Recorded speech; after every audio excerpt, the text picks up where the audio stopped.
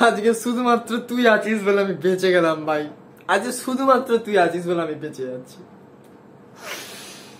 হায়, এই গরমি